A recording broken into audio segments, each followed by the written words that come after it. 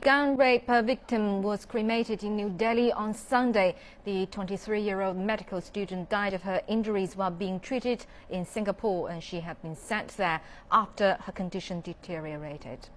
Now let's go to Iran. Iranian Navy forces have successfully test-fired Qadr and Noor anti-ship cruise missiles on the fifth day of the six-day naval drill in the country's southern waters.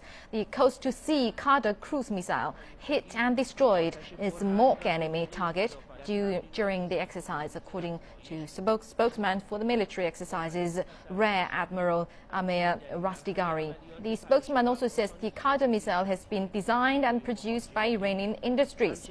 The commander added the homemade surface-to-surface, the Noor missile, is designed to be launched from surface units to destroy surface targets. And this time, Iran has displayed an optimized version of the Noor missile.